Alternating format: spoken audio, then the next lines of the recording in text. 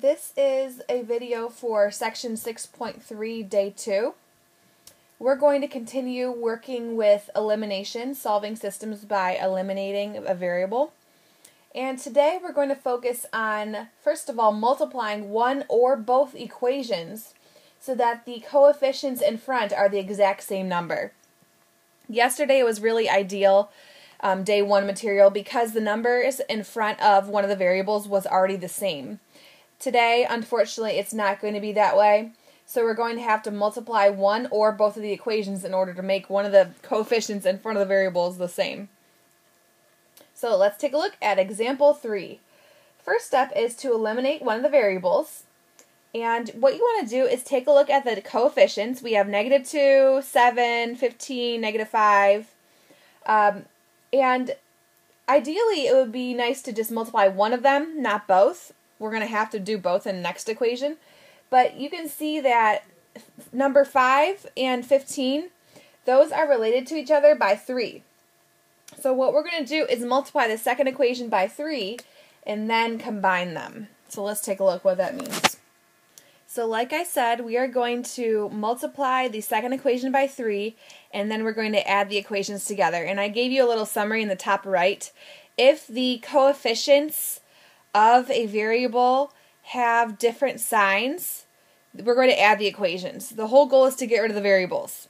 If the coefficients have the same signs, such as both positive or both negative, in order to cancel them out, you must subtract. Otherwise, you won't be canceling them out.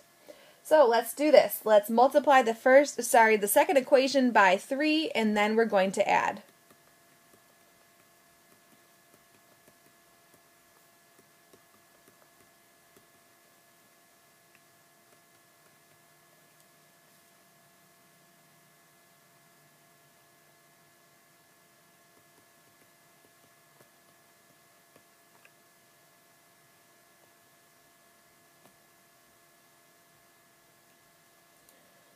So the first equation does not change.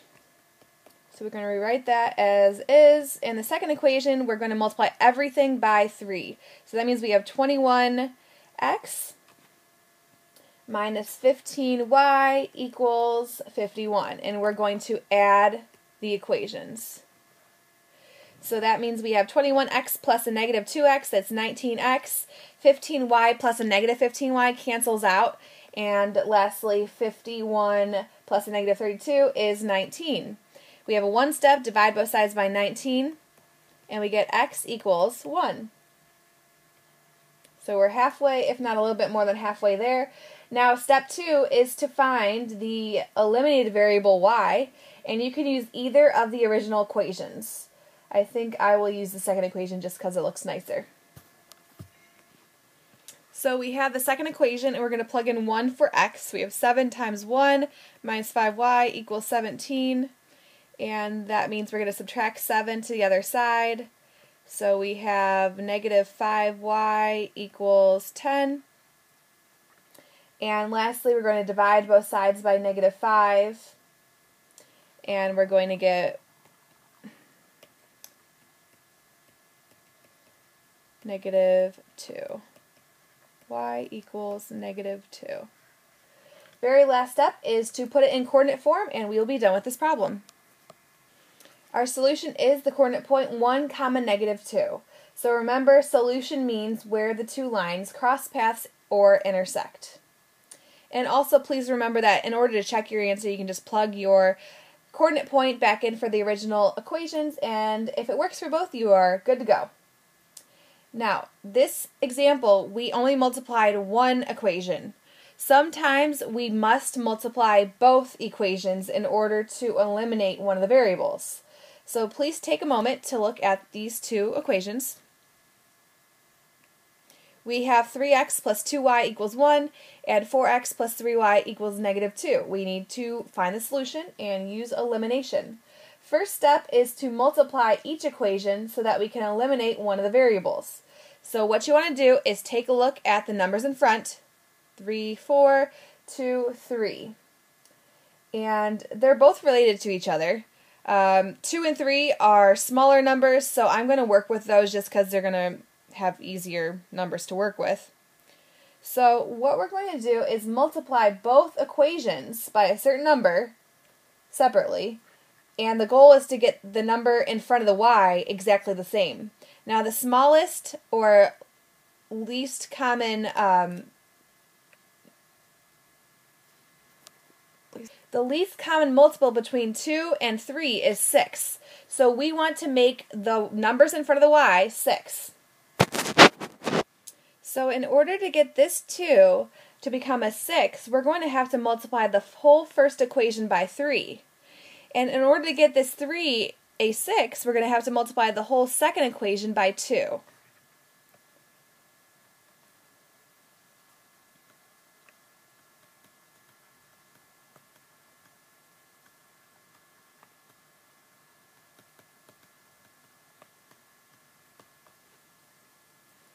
So let's do that now.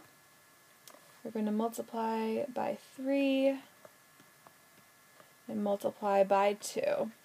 So that's going to give us 9x plus 6y equals 3. Remember, we're multiplying every little number by 3 on top. And the second equation, we're going to have 8x plus 6y equals negative 4. We multiplied everything by 2. The good news is the numbers in front of the y are both 6, they are the same sign, so we are going to subtract to get rid of the numbers. Otherwise, we would get 12 if we added. So let's subtract now. And remember, we're subtracting everything. So 9x minus 8x is 1x. And 6y minus xy is 0, gone. And 3 minus a negative 4 is positive 7. So x equals 7. Now, in order to find the y, we're going to substitute this 7 in for the x in either equation. The first equation looks slightly easier, so let's use that one.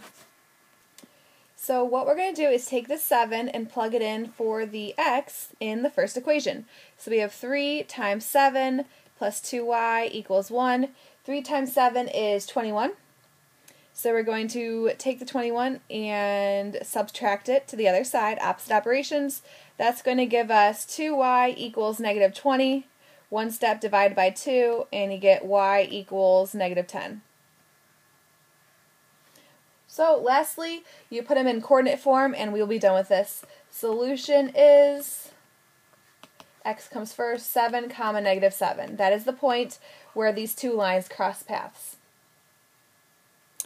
All right, let's take a look at special circumstances or systems. Remember, we've looked at this in the past couple videos. When solving a system, if the variables cancel out,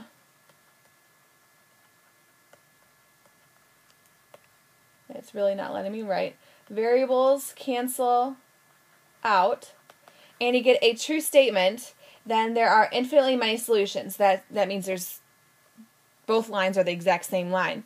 Whereas if you get a false statement, there's no solution, aka parallel lines.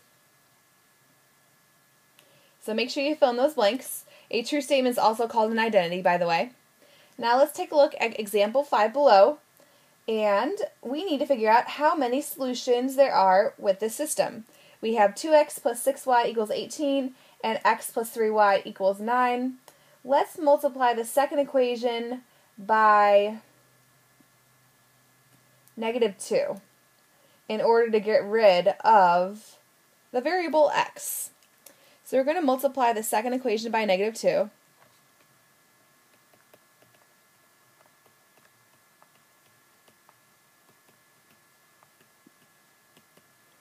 Or you can multiply by positive 2 and then subtract. This I think this is a little bit quicker.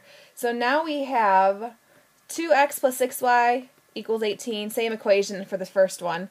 The second equation is now negative 2x minus 6y equals negative 18. Now remember, in the other examples I told you, if the numbers have opposite signs, then you're going to add in order to cancel out. So 2x plus, sorry, 2x plus a negative 2x is 0, 6y plus a negative 6y is 0, and 18 plus a negative 18 is also 0. So 0 equals 0. So at first glance, you may think to yourself, oh, this is no solution.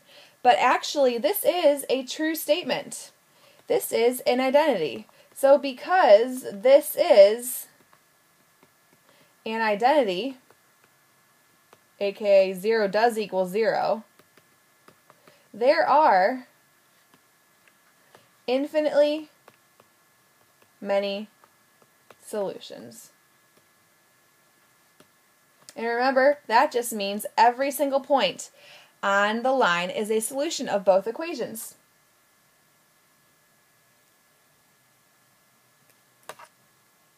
That completes today's material.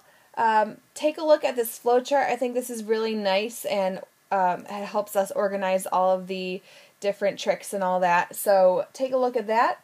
Um, and lastly, you can try the lesson check for day two, or you can wait until we do problems together, but just make sure you have done day one lesson check of 6.3. Thanks for sticking with me, and I'll see you tomorrow.